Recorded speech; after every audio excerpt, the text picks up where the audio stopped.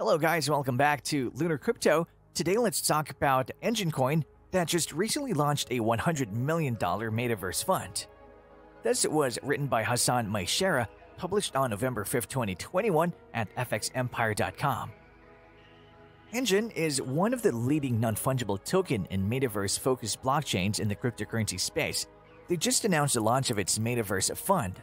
The fund is designed to support NFT and metaverse development on its ecosystem. In a blog post, Enjin said, quote, We formed a 100 million US dollars Efinity Metaverse Fund to formalize support for our ecosystem partners and help make the decentralized metaverse a reality.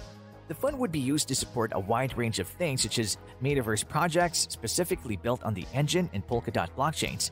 Game developers in the Enjin ecosystem will also benefit from the fund to create mixed reality, AR, VR, esports, immersive entertainment, virtual events, and more.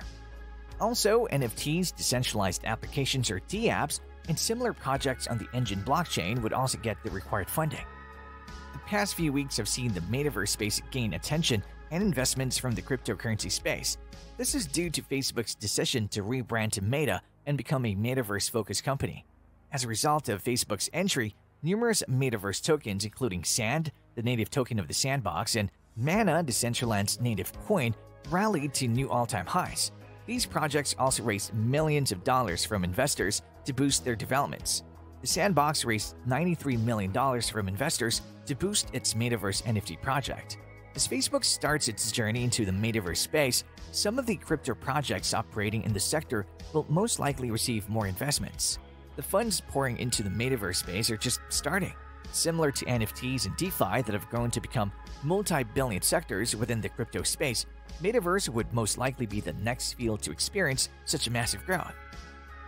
And that's our video. If you like it, don't forget to subscribe to our channel.